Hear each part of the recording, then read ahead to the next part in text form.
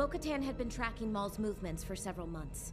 I was able to obtain some transmission codes from the Pykes on Oba Diah, which helped her pinpoint some of his previous locations. What were you doing on Oba Diah? That's a long story, and not really relevant right now. What is relevant is that we know Maul is on Mandalore in the city of Sundari. You're certain of this? He arrived two days ago. So why not take him yourself? Or to be more specific, what do you want from the Republic? I don't have the numbers needed for a siege. Without a complete lockdown of the city, Maul will escape again. That's why I'm proposing a joint operation. If we are successful, you'll have Maul, and I'll have Mandalore. If Republic forces aid you in your assault, it will break treaties that are a hundred years old. We will effectively be drawn into yet another war. What's one more?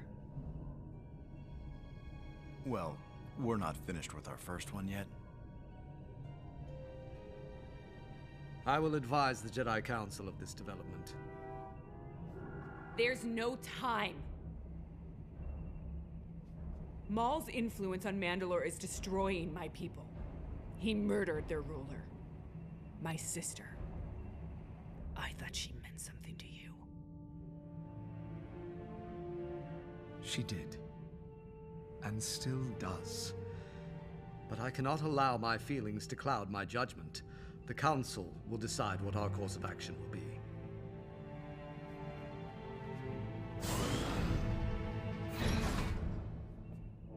I told you this was a waste of time.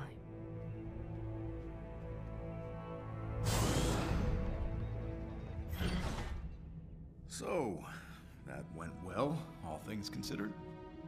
You two certainly haven't changed. Is that a bad thing? Come on. I have a surprise for you.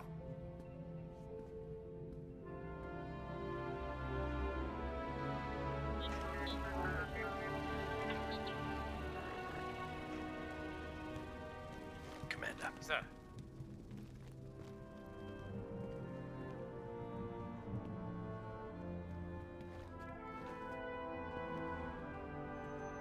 They shouldn't salute me anymore. Not since I left the Order. It doesn't matter to them. It's a sign of respect. They know what you went through for them, day after day, battle after battle. Loyalty means everything to the clones.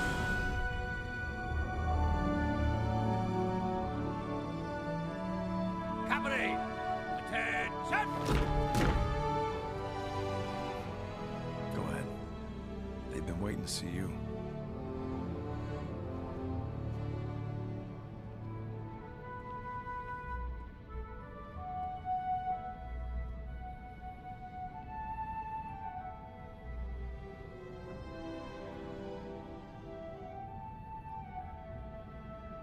As soon as Rex and the guys knew you were back, they got to work.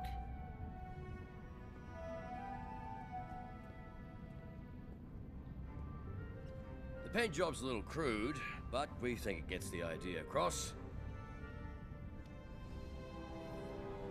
Glad to have you back, Commander. Rex, thank you. But you don't have to call me Commander anymore. Sure thing, Commander.